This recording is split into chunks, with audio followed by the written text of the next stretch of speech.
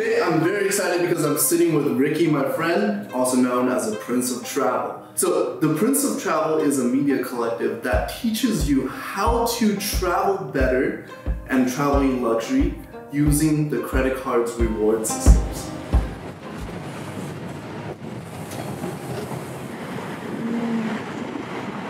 Okay, so we're spending this week on the East Coast, two days in Toronto, two days in Montreal. Just got off a red eye flight from Vancouver, it's a super busy day, downtown Toronto. Good to be back. Just had coffee back at Dineen, and now we're going up to Yonge and Dundas, doing a podcast, 9.30 a.m., bright and early, with our friend Hafu Gao.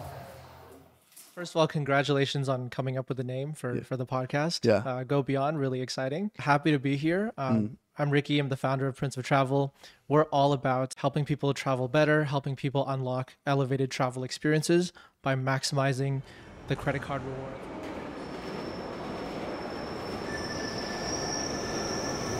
And if you're really loyal to American life is really good. Right. Good luck with that. I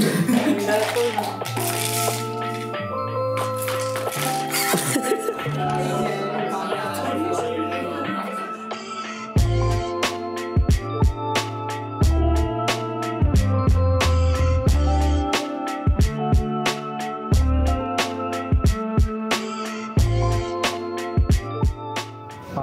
that was super fun. Good to see some of the team members. We've got a nice little contingent out here in Toronto. Some of the members as well. Good to invite them to a drink. Everybody hangs out. Now we're gonna go catch up with some friends from high school, some good company to end the night.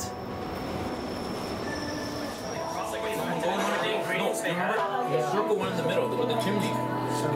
Circle one chimney. The chimney.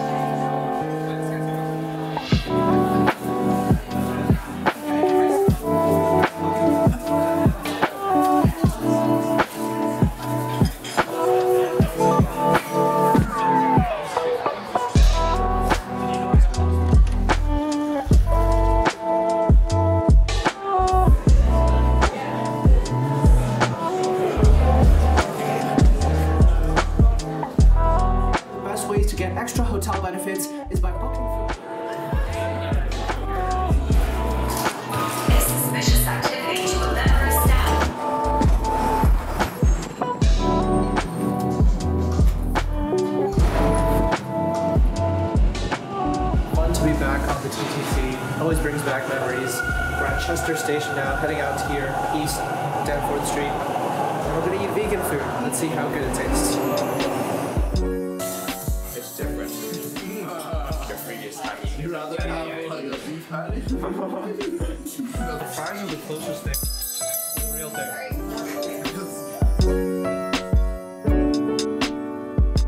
Wrapped up lunch with Cantomando and Hafu and about a half an hour of rest before we're heading to the DMZ over at Ryerson, checking out a startup company here in Toronto. Really interesting company. They allow people to pay rent with a credit card.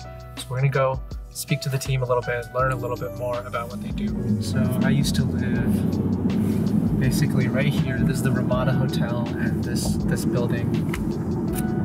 Oh, the Ramada Hotel's gone. This building is where I used to live back in the days. Back in the we just had lunch with some people who are like, we're talking about some of the good cards out there, and uh, and yeah, just I keep bringing you guys up because I keep having this conversation. It's hard to meet the spend, but there's now a service that lets you pay rent Yeah. with credit card. Yeah, I have a question for you actually. So, you know, we spent some time getting to better understand the training community. I would say we obviously don't know them as well as you do. Um, just to inform if we should even get into the direction that we're taking as a company, because we are kind of like a rental company first and mm-hmm. foremost. We, we started off with the payments, Yeah. and obviously with credit cards, and I think that's why we're talking today. Yeah. But if that same community has interests like meals, just that,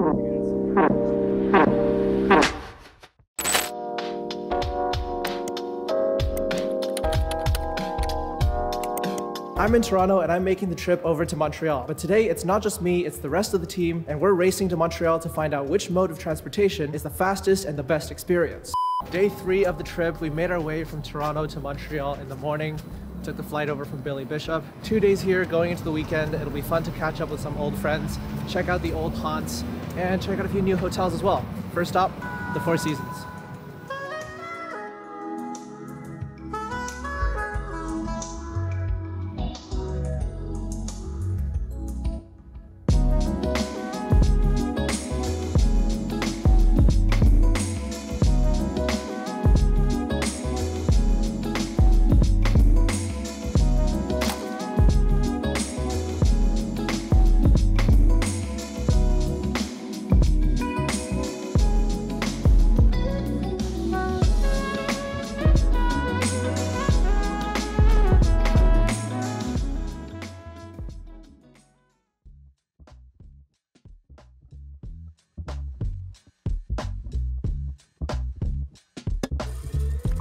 Really is incredible waking up in the morning, opening up these blackout curtains and seeing this magnificent view of Montreal, Crescent Street down there, Leonard Cohen mural up there. Quite a bit of nostalgia here looking out at Montreal.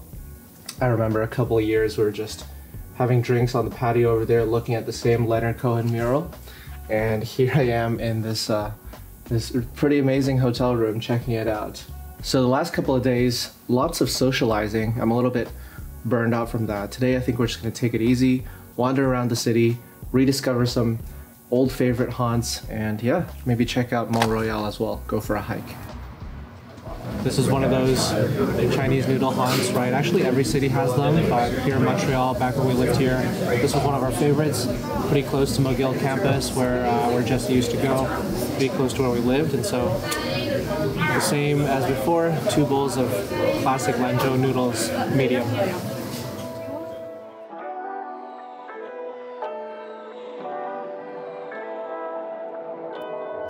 All right, so Jesse's asked me to go get some bagels to bring home. When we used to live here, Saint Viateur bagels was always one of our favorites. So gotta go pick up a few bags, and now we're on our way. This place is famously cash only. And you know, despite how we all feel about paying with cash, some things are worth it.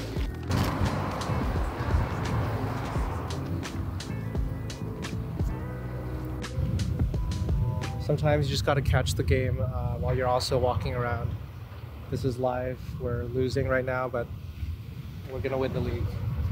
By the time this is published, we'll know if you'll probably know if we've won the league. Always nice to be back here at McGill campus. Jesse used to go here, and we used to go on these long walks over here on the on the outdoor fields and check out some of the Hogwarts-like buildings. And we're now on our way up to the top of Mont Royal. It'll be good to revisit that as well. You ready for some steps? All the way up. It's always cool to come back to Toronto and Montreal. Toronto I lived for six years or so, and Montreal for one year. Now living in Vancouver, it is quite different, but still good to reminisce and look back with nostalgia. Toronto is just super busy, right? Always in the heart of the action, lots of people to meet up with, lots of stuff happening downtown, and uh, you never really get a moment to catch your breath. And over here in Montreal, it's a little bit more slow paced. You know, always have the opportunity to come out to Mont Royal, enjoy the views.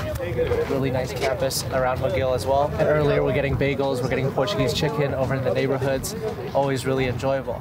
And it's been a quick trip out here to the East Coast, but tomorrow heading back to Vancouver, where it really is quite different. Again, more chill, more outdoorsy, nice little entrepreneurial enclave over there, really enjoying the community too. So over the years, it's been quite an adventure moving around Canada, and it's, uh, it's always fun to revisit some of the old stomping grounds.